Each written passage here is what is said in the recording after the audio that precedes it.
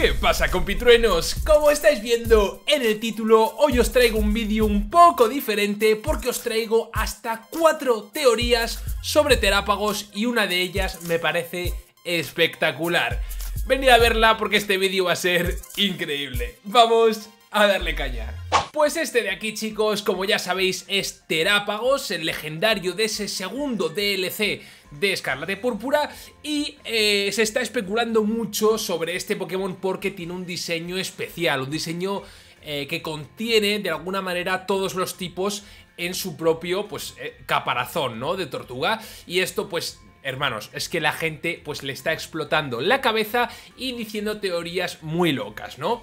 Vamos a empezar con la primera de ellas, que a mí la verdad es que me gusta bastante, que consiste en decir que este Pokémon puede elegir su tipo antes de entrar a combate. Y no solo elegir su tipo, sino elegir su doble tipo también. Es decir, que sea un Pokémon especial que en vez de un Calyrex, en vez de un Cigarde que cambia de forma, que tiene... No, tú vas a poder decidir antes de entrar a un combate qué tipo o qué dobles tipos tiene este Pokémon. Y hasta que tú no te enfrentes a tu rival, no vas a saber qué tipo tiene realmente, ¿no? Porque la forma va a ser siempre la misma, no va a ser como Arceus que cambia de color ni nada por el estilo, sino hasta que no sale a combate, tú realmente no vas a apreciar ese tipo, ¿no? Bueno, a lo mejor esta teoría pues no es del todo cierta, sino que sí que lo puedes adivinar, digamos, en Team Preview, viendo pues alguna miniatura, el color cambia, la gema de arriba, algo así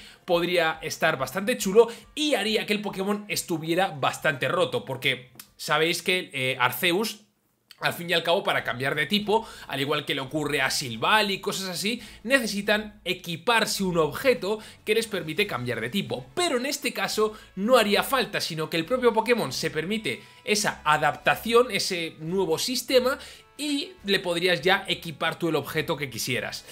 ¿Estaría guapo? Estaría muy guapo. No sé cuánto de roto estaría esto, qué combinaciones de tipos locas podrían salir, habría que ver qué movimientos aprende, pero suena bastante interesante, aunque un poco improbable, ¿vale? Dejadme en los comentarios, por supuesto, qué opináis sobre todas las teorías y cuál es la que más os gusta, ¿de acuerdo? Pasamos a la teoría número 2, que sería la de que Terápagos puede teracristalizar en cualquier tipo. Ya sabéis que este Pokémon, eh, como nos dijo Riddler, eh, nos filtró con mucha antelación, este Pokémon es, digamos, el origen de la teracristalización o, digamos, el legendario de la teracristalización en general, que lo generó, que lo creó.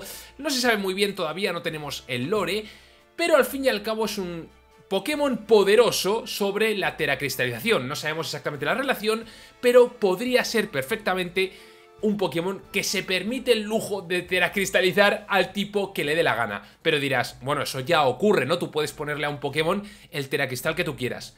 Pero estamos hablando en mitad de un combate, hermanos. Es decir, que en mitad del combate tú dijeras, vale, pues voy a teracristalizar al tipo volador porque me viene bien. O al tipo acero porque me viene bien. Esto es una locura, pero estaría muy divertido, sinceramente.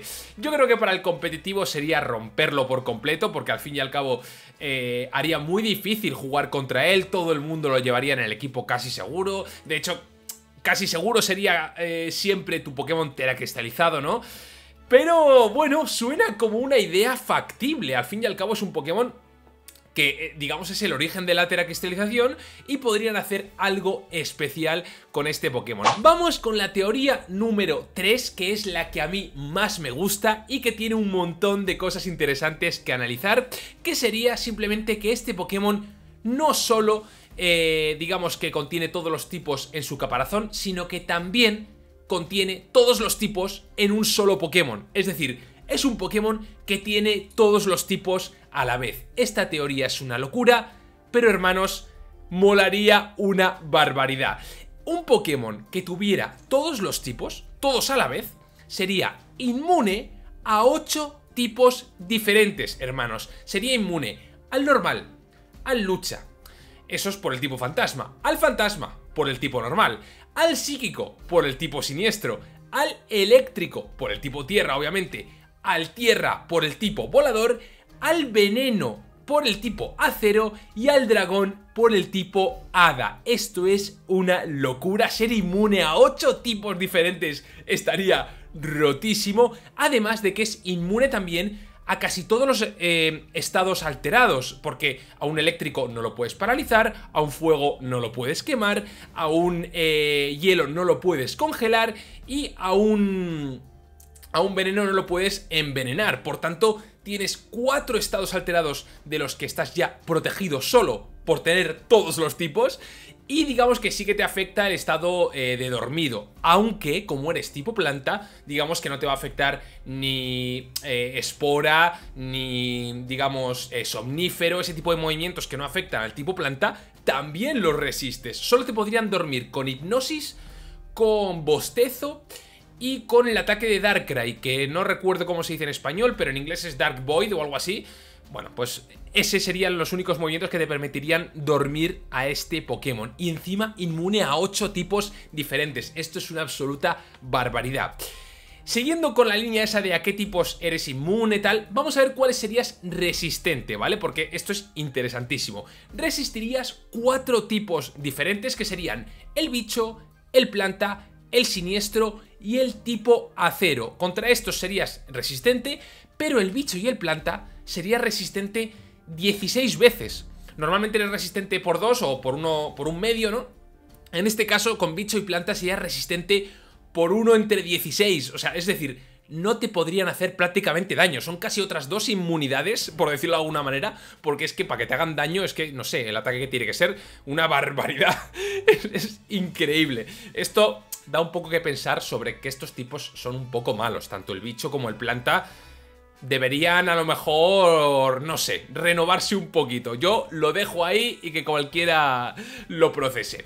Luego, sería neutro contra solamente 5 tipos, pero bueno, ya me parecen bastantes, que serían el agua, el hielo, el fuego, volador y el hada. Son los 5 tipos contra los que sería neutro, ¿vale? Pues porque tienes resistencias y, digamos, super eficaces en equilibrio, por tanto, quedaría neutro.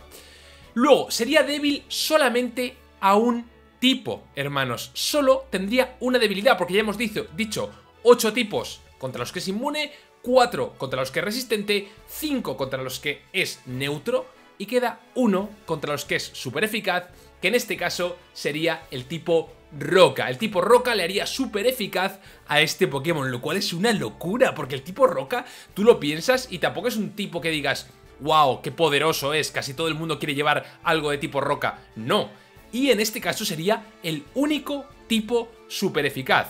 Pero ojo, no me quedo ahí, tendríamos también un movimiento que sería eficaz por 4.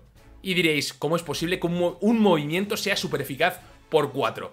Piénsalo, para el vídeo aquí, piénsalo, porque es algo deducible y es que este movimiento sería liofilización, un movimiento que siendo tipo hielo es neutro contra este Pokémon, pero al cambiar ese tipo agua contra el que es resistente por una efectividad por 2, pasa a ser por 4 super eficaz. Es una absoluta locura. Cuando estaba viendo la tabla de tipos haciendo este análisis, he dicho, qué guapo, hermanos.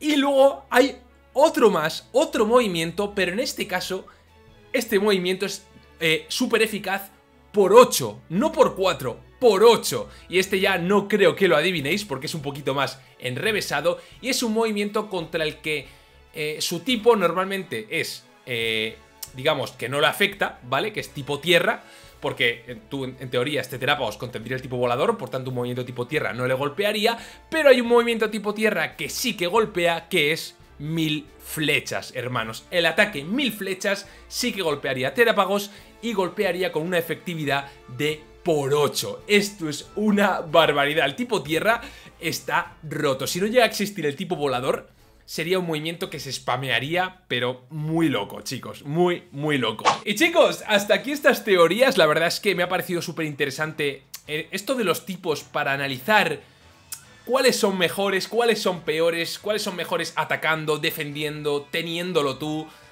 es una absoluta barbaridad, chicos. Dejadme en los comentarios qué es lo que opináis. Y hasta aquí el vídeo, chicos. Espero que os haya gustado, que os haya parecido interesante. Y sin más, reventad el botón de like, apretadlo como si no hubiera un mañana y nos vemos en el próximo vídeo. ¡Chao! ¡Chao!